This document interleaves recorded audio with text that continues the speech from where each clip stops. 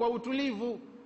Maana mtume anasema da ma yaribuka ila ma la yaribuka katika hukumu za amali lile ambalo unashaka nalo huna ujuzi nalo liwache hutolifanya vizuri. Fanya lile ambalo halina shaka na wewe unalielewa una uhakika nalo. Hasa kama huyu ukasoma hivi ndo sawa mwache afanye. Maana mko mmekutana kwenye shahada mbili si mnafanya hilo kwa ajili ya allah sawa.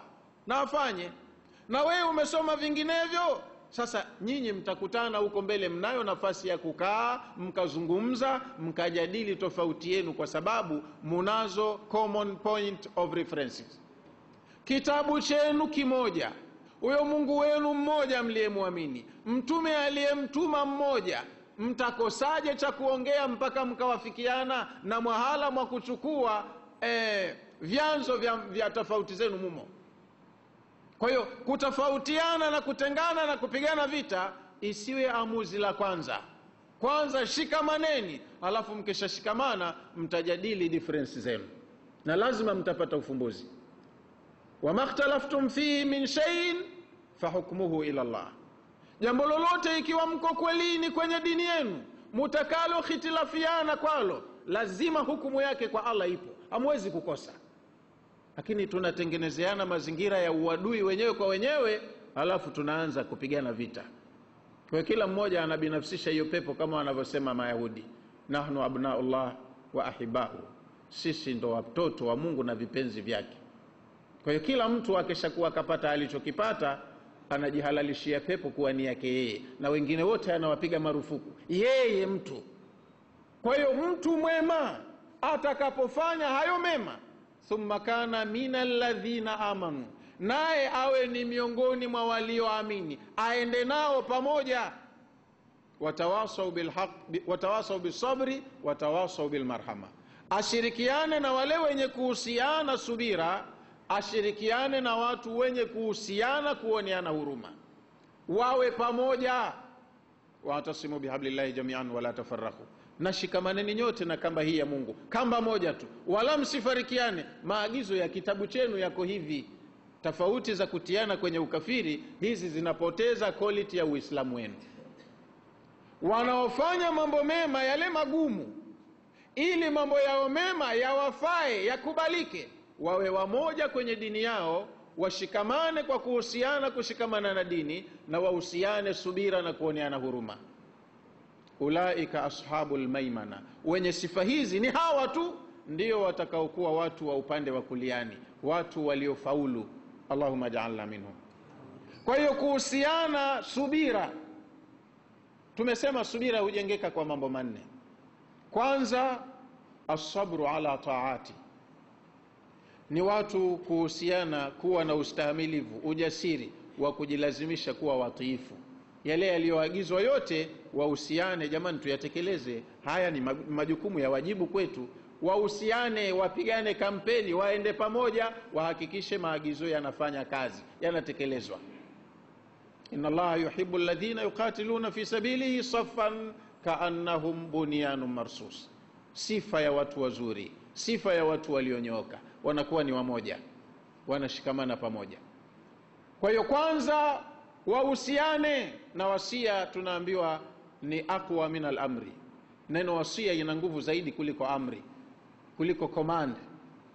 Kwa hiyo tupigane kampeni tuhamasishane tuondoshe tofauti zetu ndogo ndogo hizi za matawi matawi. Tushikamane kwenye mashina alafu hizi tofauti zetu tutazijadili kwa dalili na hoja na uki, ukipata dalili ya kutosheleza usiwe mbishi. Kubali ukweli tu hata kama siku nyingi ushasema vingine au ushawaambia watu vingine. Kubali ukweli wakati hoja ipo kwenye kitabu sunna na vitu vinavyotegemewa.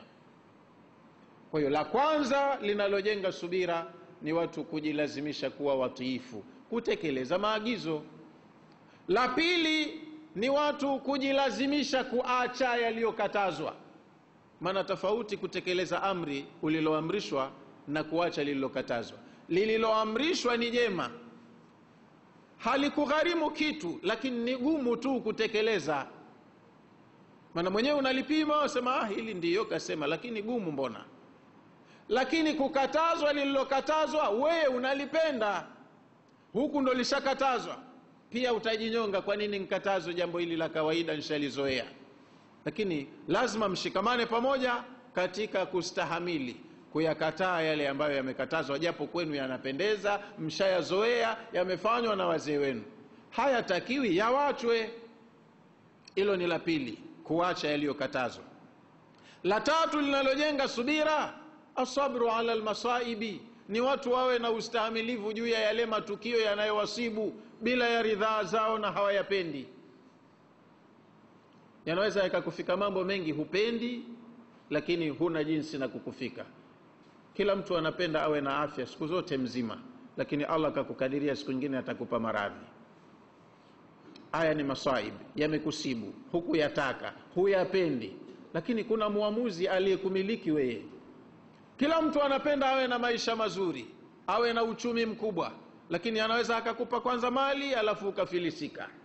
Hilo litakuwa ni tukio usilolipenda lakini limekufika. Vipi utachukulia hatua gani jambo hilo usubiri kwa maana likikusibu lolote la kukusibu katika misiba usichukue hatua za kukufuru au kushirikisha. Ndo subira yenyewe. Sio kwamba ukae tu uvumilie hapana. Changamka fanya kazi jitahidi lakini utaratibu utakaotumia kulikabili hilo lililokusibu uwe ni utaratibu ulioridhiwa ulokubalika hiyo ni subira vile vile. La tatu hilo. Na la nne linalojenga subira ni kustahamiliana watu wenyewe kwa wenyewe kwenye tabia zao mbaya. Ya ayuha alladhina amanu sbiru wasabiru warabitu waabudu rabbakum laalakum tuflihun. Vumilianeni kila kila mmoja kati yetu kama tulivyotofautiana sura tunatofautiana tabia. Maagizo yanakuja shikamaneni sameheaneni patanisheni ndugu zenu wakigombana. Wewe ukipatanishwa hukubali umekoswa samehe hutaki. Wewe unamfuata nani sasa? Sasa ili uwe na subira lazima ukubali maagizo ya kitabu. La kuhitajika la kufanyiwa kazi katika maagizo ya kitabu na wewe kama ni mumin unapaswa na kulikubali. Kama haya watu watayaelewa wataenda vizuri. Kwa hiyo haya ndiyo yanayowafanya watu waisabike wa wako upande wa kuliani. Ulaika ashabu lmaimana hao ndo watu wazuri wamefaulu wateule wako upande wa kuliani. Sio mchezo kuyaweza haya.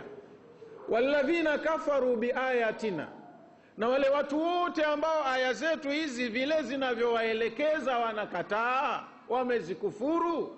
Ulaika ashabu lmashama hao ndo watu wa kushotoni.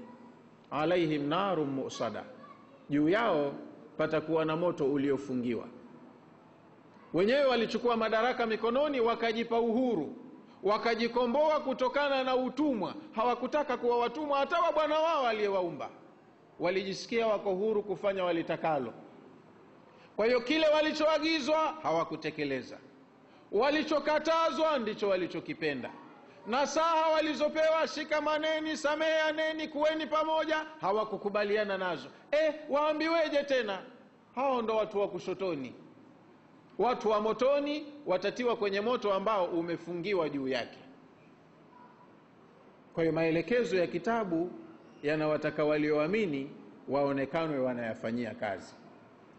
Lakini ndo kwanza wanauliza hicho kiama kiko lini? Kiko lini? Huwa ladhi anshaakum wajaala lakum lsama walabsara walafidata qalilan ma tashkurun allah ndo aliyekuvumbueni akakuwekeni hapa mnapopapenda mnapofanya mnayoyataka. Na akakuwekeni hapa kukujaribuni tu kwa muda mdogo sana. Ndo ile iktihamu kwamba muda wa kuja kwako duniani mpaka ukaondoka si lolote si chochote ni muda mdogo sana ambao huu ndo uutumie ukavune maisha ya milele yasiokuwa na mwisho. Muda huu ukiulinganisha na huko kusiko na mwisho is nothing hamna kitu tumia kipindi hichi kidogo ufanye kitu. Ukienda kule angalau uonekane nini umefanya. Lakini falaktahama laqaba hataki kupita kwenye njia ya mkato kwa muda mfupi tu akafanya mambo aende akatunzwe avune maisha ya kudumu. Hataki. Anshaakum kakuvumbueni yeye. Wajaala lakum samaa kakufanyeni wema mnasikia nyinyi. Wala absara kakupeni na macho munaona walafida kakupeni na nyoyo mnazingatia. Qalila ma tashkurun wachache sana mnaoshukuru. Huwa alladhi dharaakum fil ardi, yeye ndo aliyekusambazeni katika ardhi. Mko wengi sasa makabila lugha rangi tamaduni mbalimbali mbali. lakini mnatoka mahala pamoja. Kakuenezeni mmekuwa wengi. Wa ilaihi tuhsharun na kwake mtakusanywa siku moja. Leo mko hapa huyu wa morogoro huyu wa zanzibari huyu wa ulaya huyu wapi lakini kuna siku nyote mnakutana kwenye uwanja mmoja kwa ajili ya hisabu na malipo.